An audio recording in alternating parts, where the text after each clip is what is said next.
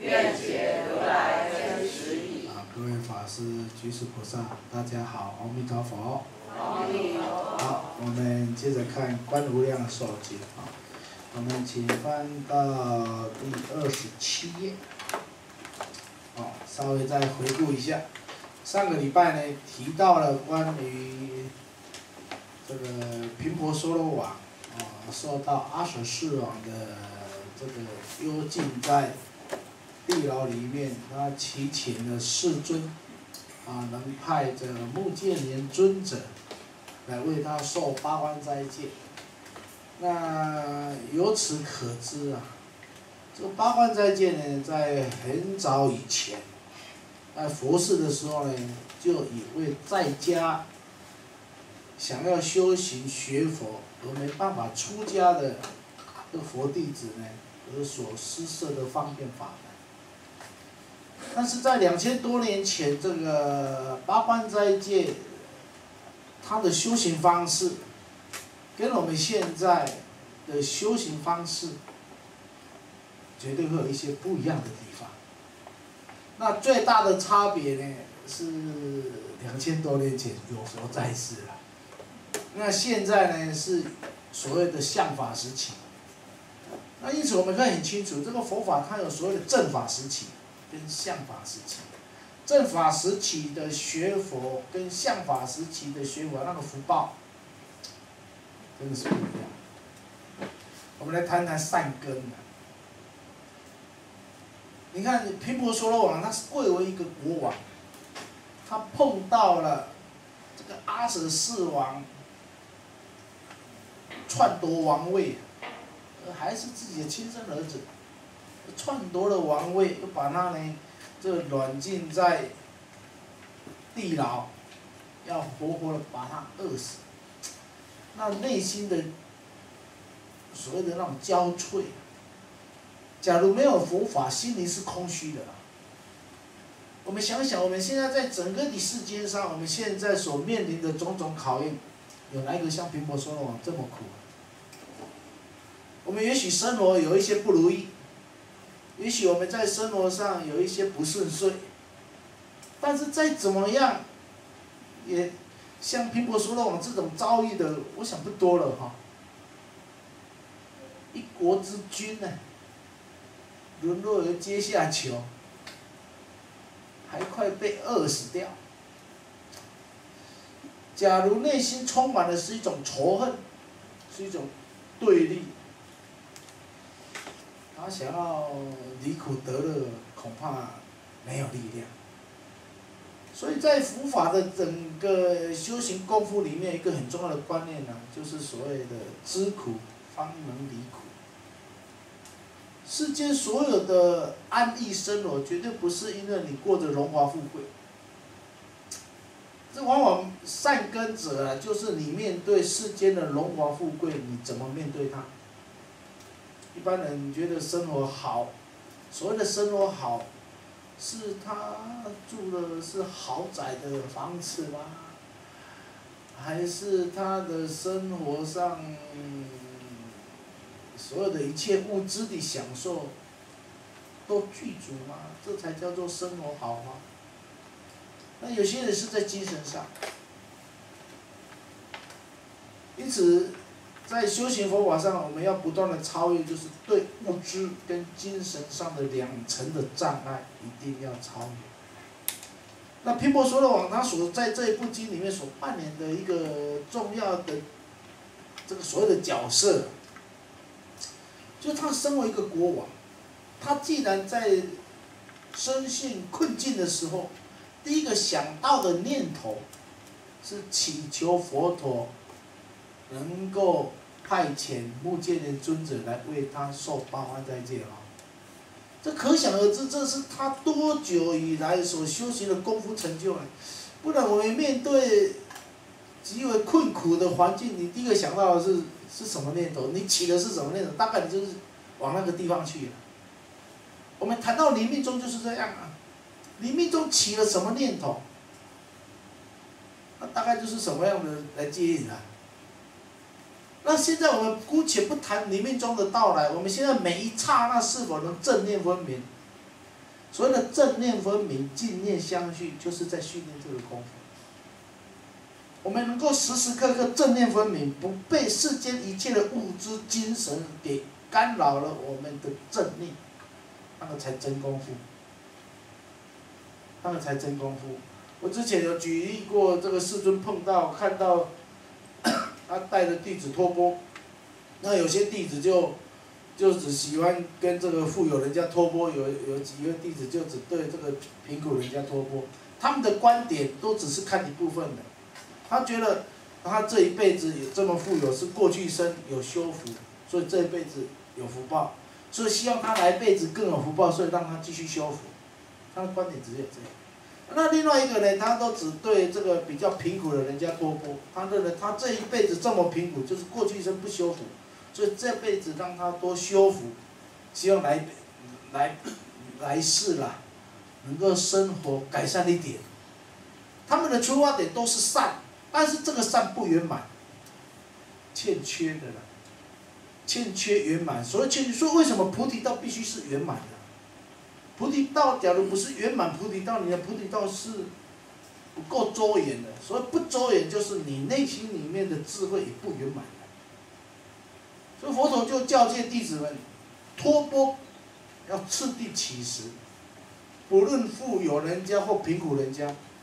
你今天碰到的是这种境界，你就一一切境界不断的超越。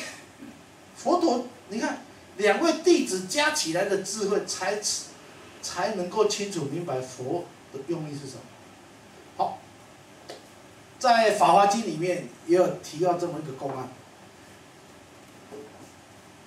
整个三千大千世界所有的人都受五戒，都受五戒，功德大不大？很大，但是所有全世界三千大千世界的人，所有人都受五戒，也抵挡不了一个刚出家，刚出家那一念刹那心，那出家沙弥哦，刚出萌生出发心的心哦，加起来福报都抵不了他。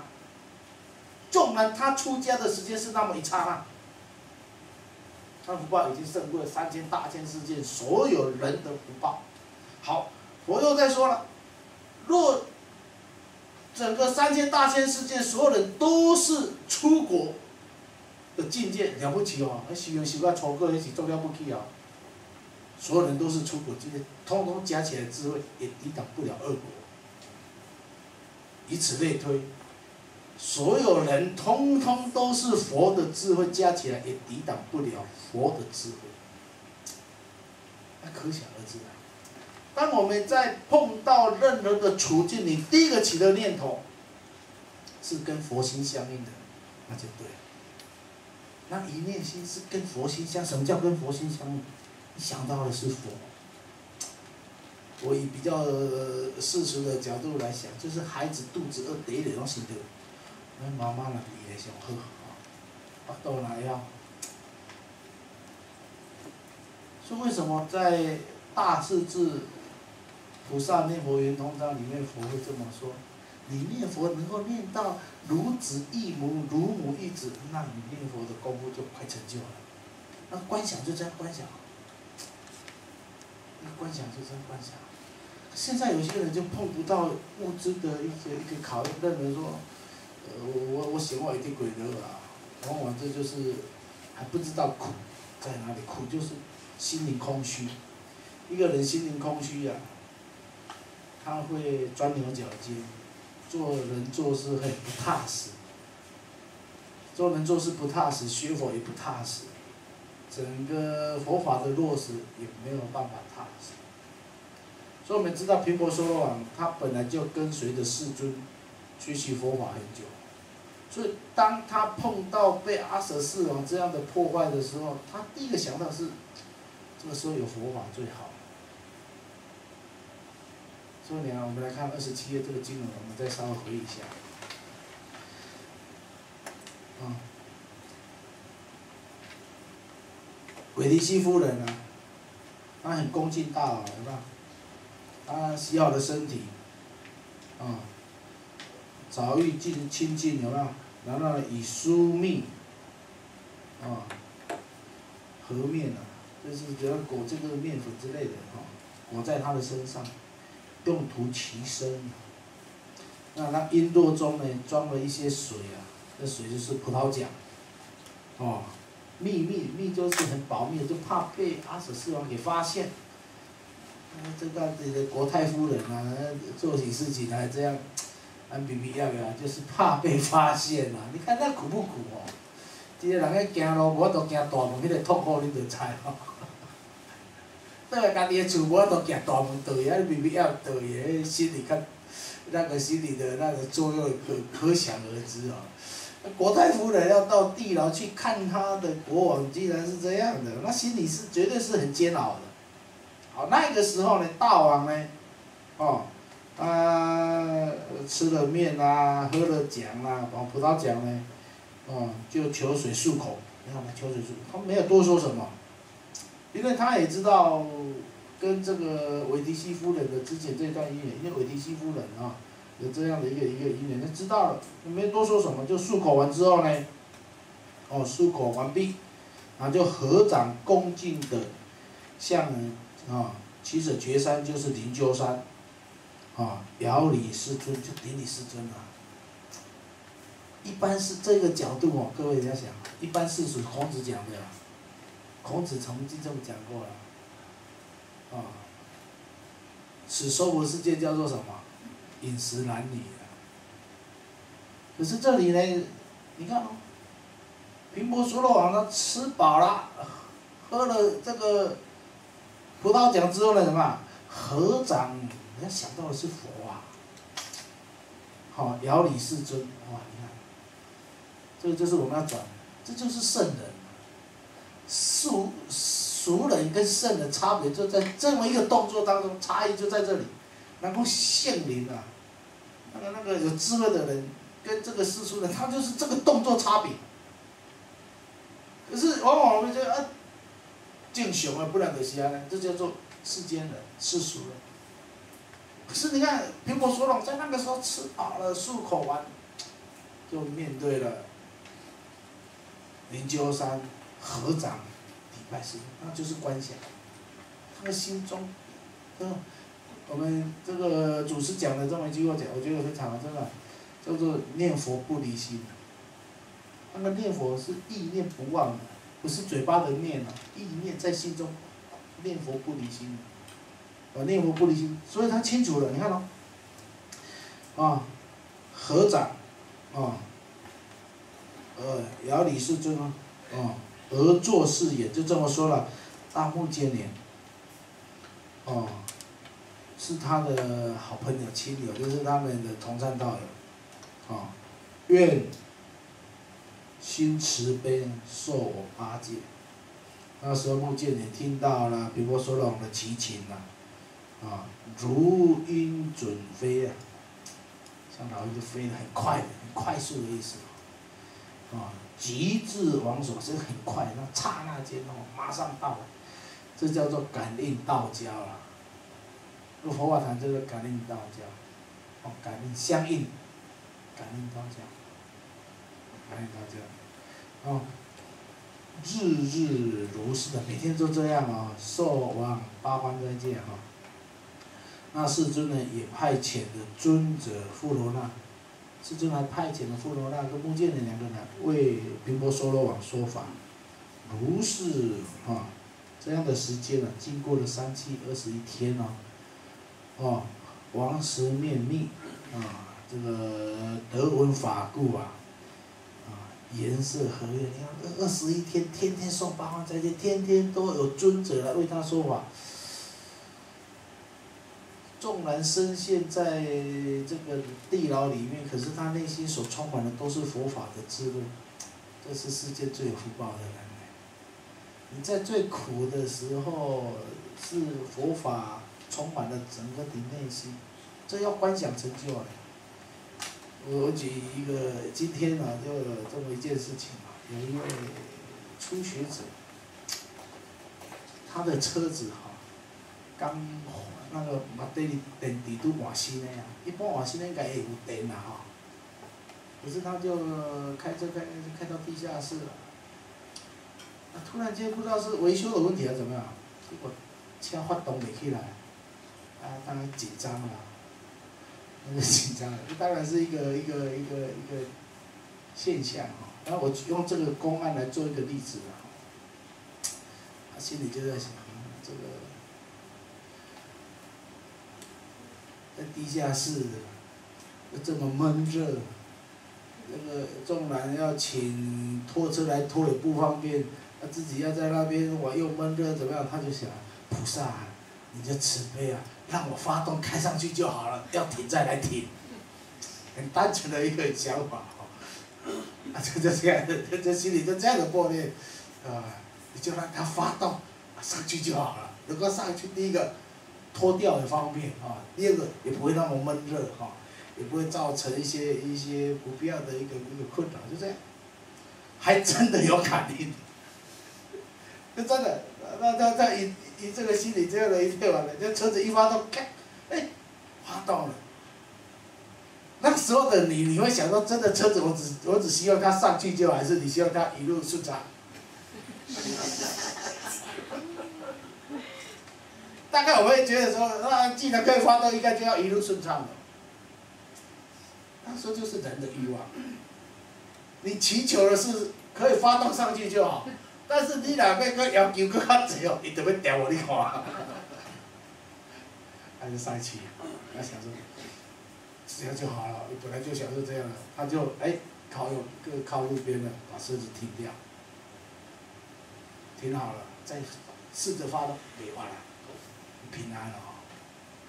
你可以在很适当的时候节制，因为你知道这有危险的，因为你要出远门嘛，赶快去脱掉了，他心里就在想。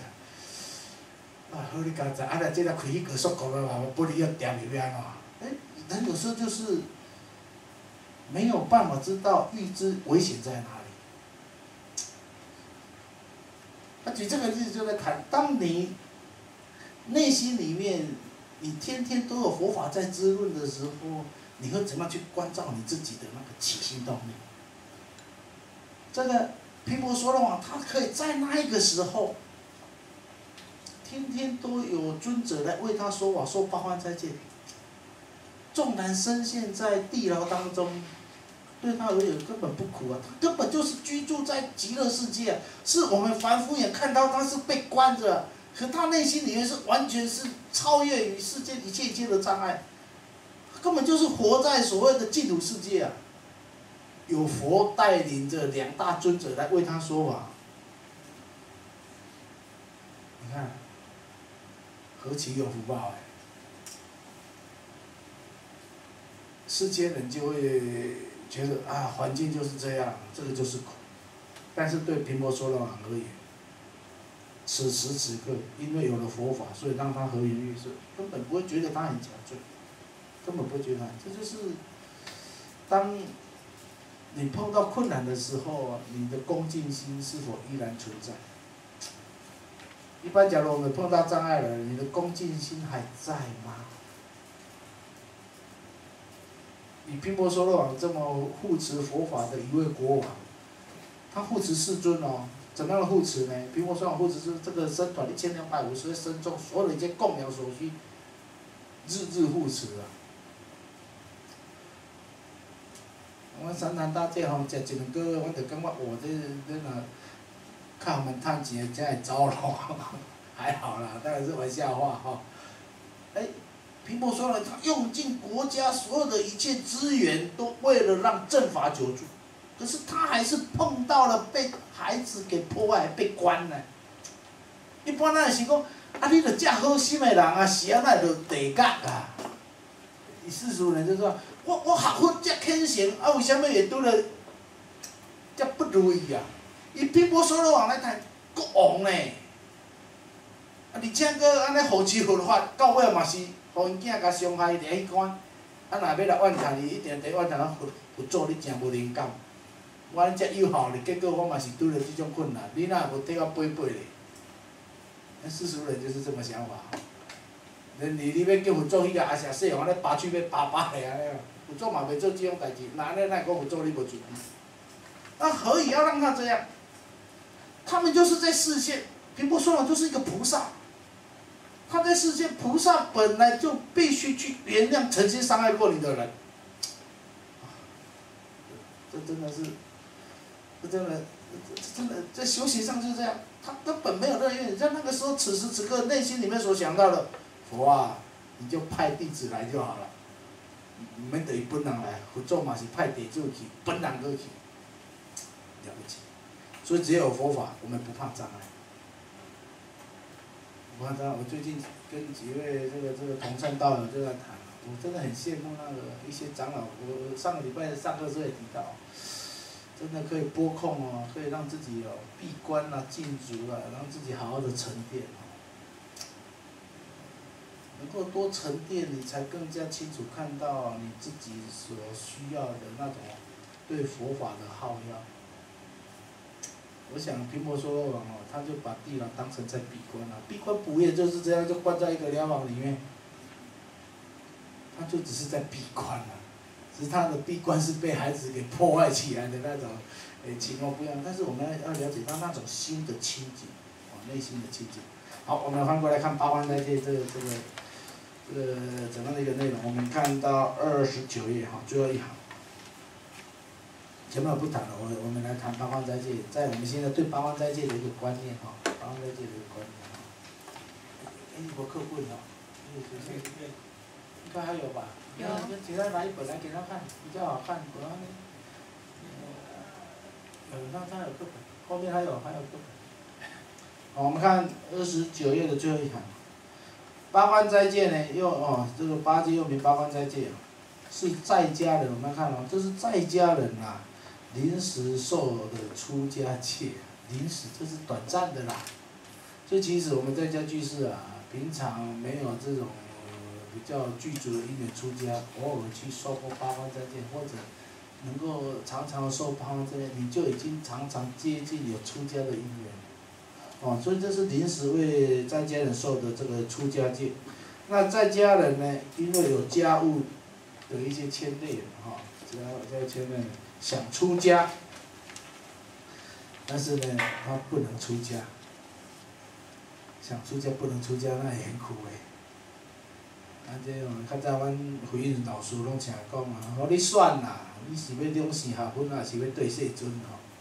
啊像吼，伊咧讲台语就足紧诶，敢若听袂听无？你选，你是要两性合婚，还是对世尊？听无咧讲啥？两性合婚啊，两性合婚啊。听有无？两性合婚，两性合婚，也是要对世尊。所以你看到我们的政府政策现在改，你只要出家受比丘戒，你的身份证都可以改姓氏。政府现在都有都有法规可以这么这么去这么改变嘛？你只要受戒的戒牒哈，你的属性都可以改释迦牟尼佛的氏。都可以去改，我们好几位这次出出戒坛的弟子，好几位都去改了哈。但它不会影响到你的一些一些基层的问题，那本来你就是归佛门啊，呃，这个世尊，呃，这个佛门本来都是一家亲，都是佛的弟子，都姓氏。哎，蛮有意思的。我我当时我我那回老师来讲这那种听无两性合婚，那个对台语还不是那么那么了解，说然后两性合婚。所以以后若要搁想要出嫁金的，就却却无遐计较。所以想出家又没办法出家那种苦吼，我就想到了那个谁，虚云老和尚。那虚云老和尚呢，他本来就是一位非常优秀、很有善根的。他本来就想要出家嘛，因为他生长在富贵人家。他爸爸就非得要他传宗接代哈，哦，就足惊伊真正走去出家，佫一届甲带两个，十九岁就娶两个啊吼。伊家某讲，咱演戏就好啊哈，演戏就好啊，你看，迄拢迄拢讲过演戏就好。老爸老母的意思，莫违背，真正演戏。啊，真正甲娶入门，该演的拢演，时间到，该逃走嘛逃走。所以这个西老和尚啊，真的很了不起的一代宗师啊！我都称他那个就是一个一代宗师，他的典范。他就很像佛陀时代的迦摄尊者，修苦行，可以对一切境界啊不为所动。所以他那时候三番两次想去出家，都被被他爸爸哈，他爸爸是做官的嘛哈，这个富贵人家去把他找回来，他并没有因为强权之下而低头，他反而更更坚定的，啊，今生今世要出家要等待，但是即世要出家就障碍遮大，啊，搁后世人就愈食力。他想是这样的，有些人的想法，哎呀，想出家。不要紧啊，即无出家，后世人再出家，后世人你著保证你真正出去做人，咁遮简单。那种观念哦，全不懂。我知道这一世要出家障碍这么多，他就想尽办法非得出家。那个那个那个那个虚云老和尚啊，很了不起的。因为有空可以去看看那一本书叫《空虚的云》啊，他写的类似小说哈，那个鹏鹏写的。有三本上中下哦，我以前很喜欢读这一本，然后把它当成小说在读哦，很厚啊。那时候就把它吼，他读那他读故事书哦，读啊那徐云老上曾经写故事书吼，写的好精彩，我写的真的把他写把把徐云老上写活了，哎，真的那么他也真的是真的是一代宗师，他就就很红，那那本书很红，他把他的一生的事迹哈。怎么经过？我那个细节都写得很细腻啊！对，有空可以去去看。像我们汇聚出版这里，出版社这里有，有哈，这这不是自录式行销哈，这是肯定搞好册的爱看哈。好，我们再看，想出家而不能出家呢，所以佛特开方便门了哈。啊，凿金，然后凿令临时受，啊，所谓的受这个八万斋戒。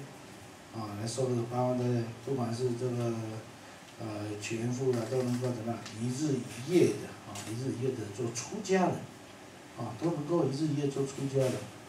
所以八戒啊，就是三戒，啊的前九条，啊，只有那个不抓持经理没有啊，其他都有。那八戒呢的切入条，啊，这都是以五戒为基础。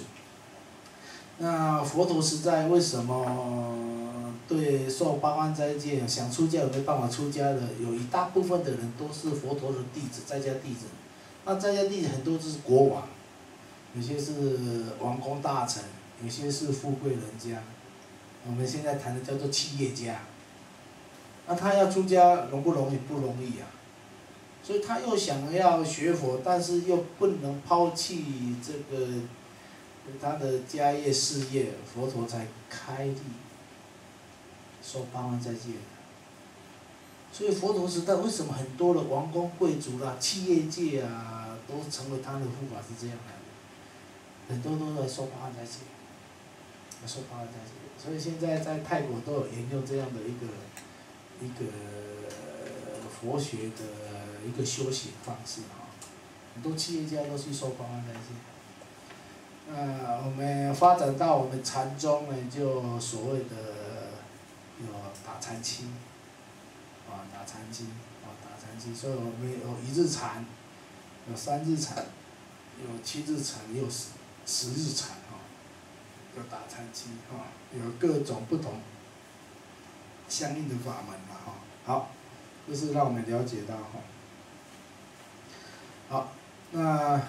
这个我们就不多谈，让我们知道呢，这佛陀时代本来就有说八关斋戒的啊，说八关斋戒的啊。我们再翻到，我们再翻到三十四页这里，这里有一个观念很重要的，带着大家了解一下哈。好，我们看啊，第二段，学佛法应知道，有没有看到？三十四页这里，我觉得这一段话呢讲的非常好。学佛法应该知道什么叫佛法。你学佛，唔知啥物叫做佛法。就好亲像你出门，你唔知你要去说一个方向，你不知道你要到哪一个目的地，你到底走到哪里去啊？你你出了大家，你你家的大门口，你不知道你你今天出门的目标去哪里，那这是行尸走肉啊！所以学佛佛法浩瀚大海。那什么是佛法？现在很多人对佛法一知半解，哦，阿得哦，安尼碰风啊，知一说十啊，为了只是知影一部分，哦，安尼抓解解现在办了种济啊，都是有问题。所以这这里提到很重要，学佛法应该知道什么是佛法。当我们还没有往下看的时候，什么是佛法？也许我们谈戒定慧。五戒、八戒、比丘戒、菩萨戒，这都是佛法。可是佛法纵观佛法是什么？这个这个观念一定要不断的去去刺激一下，去告诉自己什么是佛法。当你碰到最为困境的时候，佛法在你身上能起得了作用，那个才真正叫佛法入心的。你碰到最大的困难的时候。你能够起起作用，那个佛法法才入心哦，不然那个法不入心哦，无烂。就如同哈，咱那咧种树啊，啊种树啊啊，你树啊种伫即边，种伫东边，你压水压西边，伊树啊永远嘛食水食袂着，我有啊我着压水啊，啊伊食袂着，狗啊哪伫等？迄种东边你压水甲压西边，伊紧咧拖嘛无遐紧，对无？所以他已经有他的一个观念，你你这个佛法到底什么是佛法？有些人就把佛法就佛法就是宗教的一部分，他们谈什么是佛法，可是有人就把什么是佛法跟佛教跟宗教的这个结合啊，都一样啊，东西在扩身啊。佛法假如只是劝善，那世尊何苦再来告诉我们佛法修行？所以道场是这样啊。前不久才跟各位提到。道场有好多种的性，道场是让我们修心养性，是净化人心的一个道场。这道场是修行的道场，而它不单单只是在所谓的慈慈善的道场，或者只是在做布施的救济的这些，所有的宗教都可以做的。佛教只不过也是在整个的社会的一环，也在做同样的慈善工作、医疗工作、文化工作。但是佛教有别于其他宗教地方是什么是佛法？它是一个修行，可以就让我们怎么样远离欲望的这个道场，它是一个修行道场。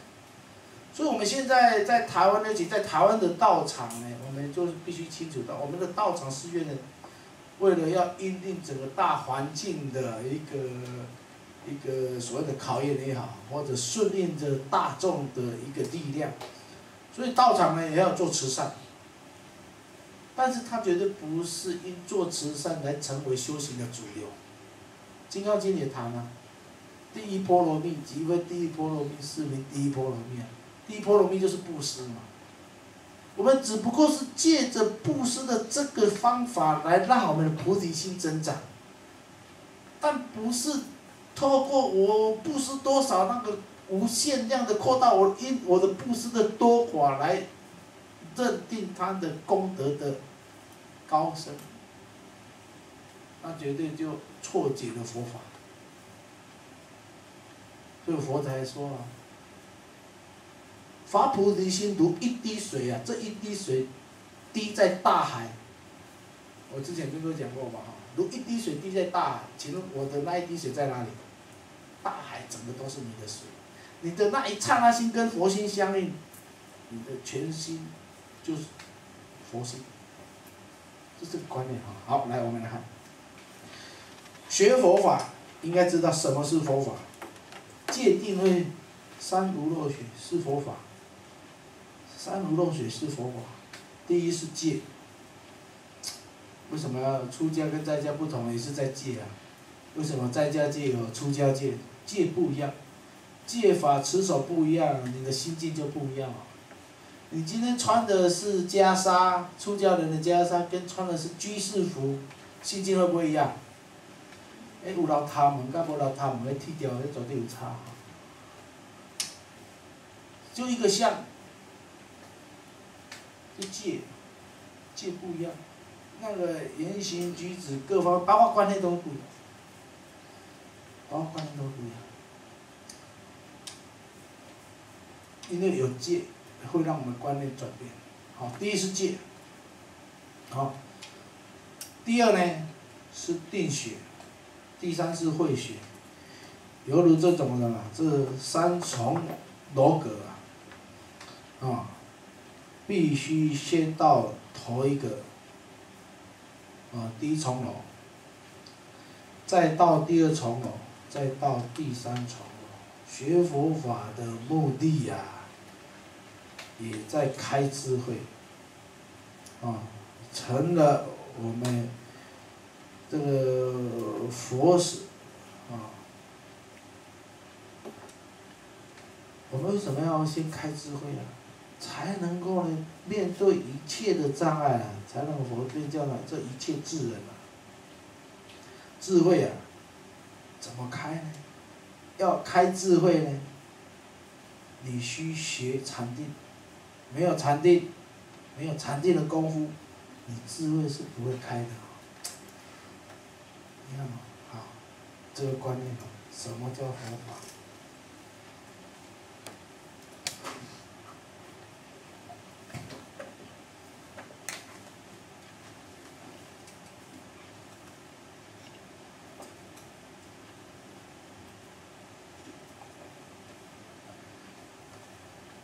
修行解脱有好几种层次哦，有些人对戒，这都是供。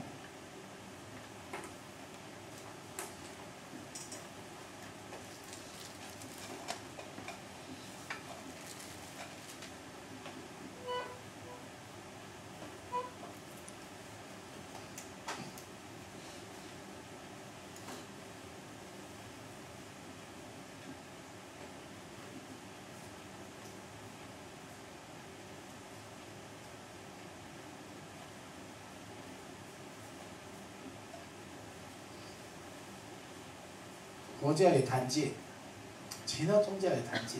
我们说的共外道，所有的共外道是佛教也谈戒律，其他宗教也谈戒律啊。所以戒本身它是一个世界道德规范。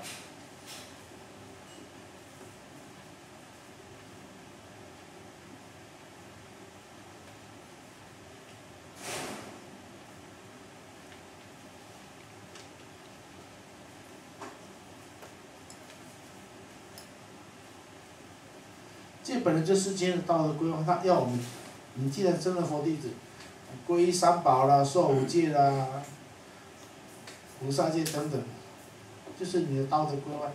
透过一个佛戒来要求我们，所以我们受佛，啊，这个受戒之后有所谓的佛戒。那这个佛戒呢，是在这个道德规范当中，世间人都可以做得到的，我们在做不到，那我们怎么能够达到最高层？所以，什么是佛法？基本上要告诉我们什么是佛法。佛法就是不共外道的嘛。既然不共外道，你但是你不能脱离了世间而自构自己成立一个。所以它叫三重楼阁嘛。它是一个类似一个金字塔。你一定要先从戒成就，定成就。才能够有会成就。那修行当然最最顶端的这个佛心，所以清净心成就。但是这个你不能离开了界定而独立存在。但是我们当我们走在第一阶阶层的时候，我们不能忘记了，误以为我持戒清净就够了，错了。你持戒清净，你记你要记住，你还有最高层的。所以我们只是借着戒跟定的力量，能够成就智慧，但不能迷失的只是成就在戒。哇塞，有些人就 因持戒的执着而有戒障，因为持戒过度的让自己迷失而成了戒障。有些人迷惑在定的力量，那个禅定的力量很很喜悦哈。那禅定的那个内心是很喜悦的，他有时候割舍不了对禅定的喜悦，而就没办法更上一层楼。所以你看到什么是佛法？他要跳出了，你持戒很重要，你持戒重要，偌济人把你学了，哇，还持戒还持了多重，迄衫拢安尼安尼补丁补啊，搁补补补补，哦，有人一领衫就是安尼补啊，白白补，爱啥要安怎补？哎呦，你安尼遮欠哦，因为迄个欠对来讲是做无面子的。但是伊着毋管迄领衫，有个人就是吼有一束衫吼，一领衫永远拢挂伫遐，啊啊啊，挂挂烂咯吼，啊若要出门嘛着穿迄领，哇，那感觉讲哇真有收的，有影一个，哇，安尼遮轻欠哦，嘿啊，我所有钱拢报去就说家己穿啊遮歹，听起敢若真爱煞吼，非常有收的吼。啊，实际上伊着已经被伊的即个即着着解。束缚着伊内心的解脱，这叫戒障。那是不周也。有些人你持戒只是获得想被时候持戒的一个一个一个迷失啊，比如说，我曾经就碰过一个很可爱的一个故事啊，一位法师啊，当然他是迷失迷中，迷中本来外出就不能独行嘛。不能独行呢，他就希望有人陪他一起到车站坐车，他要走路嘛，走路他希望有一个人陪他，大家都很忙，啊，有人就跟他讲，现在大都会区，你不可能会独行的啦，整条马路哇这么多人，你不用担心有危险啊，不要不要，那那那一位。居士就很感到反问他：“我现在陪你从寺院到火车站，那你从火车站到你家谁陪你啊？那一站可以，为什么这一站就不行？”啊，就觉得说，反正你就陪我就，那因为我为了要护持你，他也是不是他他也是法师哦，他也是法师的，那我陪你一起从这里走到火车站，那我回来变成我都是啊，你还我还改啊，上路这里。你听懂意思吧？我护你不独行，那我回来你让我独行，安尼你良心何在啊？那能听懂那个观念吗？他就我这样就是很很只顾着我借亲近，但是忘了我的借亲近也有会必须让对方戒也亲近啊。啊，他就说，我唔管啦，你家己想办法。也许他戒庄严了，但是呢，智慧可能还离他很远哦，还离他很远哦。这这这这常碰到的一些事故事哦，所以我们必须了解到，戒我们修行佛法持戒要庄严，不是在形式上的那种所谓的庄严。就叫做佛法。若你的持戒的庄严而忘失了，你有一个最高层的慧的成就，持戒都不够庄严当然，你戒一定要清净，才可以有智慧的成就哦，这是必然的哈。你也不能跳脱这个戒，也不能跳脱这个电子单独成就慧，也不可能。但是你要有慧的智慧成就，你不能离开戒跟定。但是你有戒跟定，你也不能执着在戒跟定的成就上，这就是佛法，好像在绕口令啊。所以我记得抖音应该也看好，所以他必须从第一层上来。但是定，我有些人戒戒很庄严的，但是定哇那个，一旦修禅定，那是种很法喜哦，那个定的那种法喜哦。有一段时间我在在佛学院哦，那一段时间，我一天大概讲不到十句话。别爱讲话，啊！别讲人，咱讲安尼吼，足足拗个性，其实就别爱讲话，人问咱嘛别爱讲话。感觉介有时阵吼，介假啦，我该给，但是盖金，哎，叫盖兄，你讲你你觉得一讲话心会乱掉，就干脆不讲。人家问你什么，我讲老哥兄那种下，回答问题那种下，好不好？你家的事。反正可惜，人家问你什么问题？而且哎，有因为有上课的时候，男众有女众嘛，啊女众，呃要要看到我们这样吼，目睭拢安尼三分半的，无啥要看，要要要问什么事情都写了一张白纸，嗯一张纸，然后写几个字，嗯某某法师请问，待会要开班会，请你当司仪什么之类的，类似这样啊。那他只是要知会我们等一下要会议要主持，我就跟他回。没空。那那那这个，但是那那这个泡在那个所谓的那种对于禅、对于定的那种迷失啊，那是自己的迷失。但是那那是过程，你没有那个过程，你也不知道。哦，原来，又回头一看，这个今仔日爱食汤啊，尔，汤温较悬哩啊，无无啥做，你着先放啊。啊！可是那时候就觉得，真的不会讲话，啊！但是那时候师长也看在心里，但是他不会告诉你这样做，他只会告诉你你要再突破，你要再成长。那时候不会讲话，心很静，然后不会讲话，人家觉得说，我这么一开口会乱了我的心，所以我不管其他人的死活。你修行修到最后，那种禅定量修到最后会很自私。所以佛为什么会呵斥禅修的人？若没有菩提心，你的禅修会变成外道地。所以大德智者大师有谈十种修行的发心。你只照顾自己，你可能会落入地狱道，因为你把自己框起来。你虽然现在看似在禅定，基本上你禅定福报修完了，你绝对落地狱，因为地狱是把你关起来，你的心就已经被关起来，你必然落地狱关起来。啊！你较说你的心，你你打坐只希望身体健康，我为着身体健康，所以我要坐上打坐，那你必然入，就是有些是入畜生道，有些是入恶鬼道。实际上那个符号是不一样，有十种发心啊，就是有层次的。最大的发心，我为什么称为广度一切众生？那你才能够往上层。所以什么是佛法？他没有把它讲死。有佛界，有佛的定，但是这个戒跟定是为了要成就慧。你有些人很可爱啊，我我我不要，我不要受佛戒，因为觉得学佛啊约束这么多，这个也不自由，那个也不自由。他想要快乐，又有世间的欲望，但又要佛的智慧，哎，空你啊，不可怜。既要享受世间的欲望，又要有出世间的机会，绝对不可能。包括佛都必须这么样严谨的让自己在佛法上成就，何况是这个善根还不够坚固的啊！所以这一点我们必须清楚。好，所以你看，戒是供外道，外道也修戒啊。其他教的戒比我们严格啊，修苦行啊。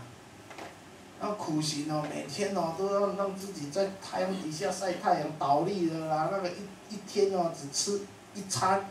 而且一做事，那都是很苦的。这么苦也没办法有智慧呢。